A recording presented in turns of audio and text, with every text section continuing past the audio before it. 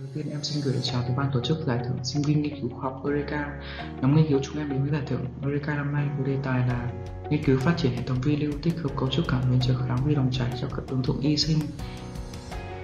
Nhóm nghiên cứu của em bao gồm hai thành viên, đó là Nguyễn Văn Phú và Đào Trung Nam, đến từ khoa vật lý trường Đại học Khoa học Tự nhiên, Đại học Quốc gia Hà Nội. Thực trạng hiện nay thì tế bào TCD4 cộng là tế bào có cầu T đóng vai trò quan trọng trong hệ thống miễn dịch. Số lượng tế bào TCD4 cộng cung cấp thông tin về tình trạng sức khỏe của hệ thống miễn dịch giúp cơ thể chống lại các mầm bệnh, bao gồm nhiễm khuẩn và siêu vi khuẩn. Hiện nay thì đa phần các xét nghiệm đến tế bào TCD4 cộng thực hiện nguyên tắc là phân tích tế bào dòng chảy phách. Tuy nhiên thì chi phí hóa chất cho việc xét nghiệm không có bệnh phẩm mà khá cao và các kit đến tế bào thì chủ yếu là nhập ngoại một vấn đề nữa là thiết bị đến từ phòng dòng chảy phách có giá thành rất là cao khoảng vài nhiều trong một thiết bị. Và đòi kỹ thuật viên có chuyên môn sâu để thực hiện. Vì thế thì thiết bị đến TC4 cộng thường chỉ đầu tư ở các bệnh viện tuyến trung ương và một số ít bệnh viện tuyến tỉnh, thành phố, trung tâm phòng chống HIV/AIDS. Nhóm nên là nhóm nghiên cứu của chúng em bị cầm tay để sử dụng và cho ra kết quả nhanh, chính xác và chi phí lại rất là thấp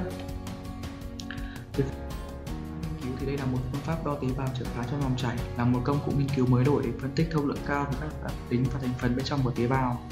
Nhóm nghiên cứu đã sử dụng phần mềm là console multiphysics để mô phỏng sự khác biệt trở kháng khi một tế bào TCT4 cộng di chuyển qua một cấu trúc cảm biến. Phương pháp chế tạo và vật liệu vật liệu sử dụng đây là PDMS, quy trình vi chế tạo tiêu chuẩn, các bước chế tạo nghiêm ngặt và được hiện trên phòng sạch.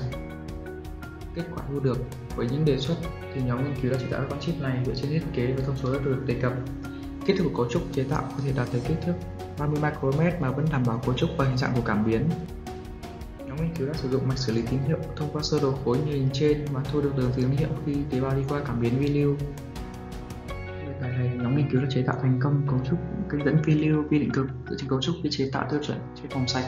Bên cạnh đó thì báo cáo không liêu ra các phép đo tế bào sử dụng phương pháp trợ kháng nhằm thử nghiệm phát hiện và đến tế bào TCD4 cộng và thành công. Thành quả bước đầu thì vẫn còn một số hạn chế nhưng cũng là yếu tố cần được xem xét và là tiền đề trong việc phát triển các ứng dụng trong tại chỗ cho các ứng dụng sinh học, học thuật và lâm sàng trong tương lai sắp tới. Trình bày của em đến đây là hết thì em xin cảm ơn thầy cô và các bạn đã lắng nghe.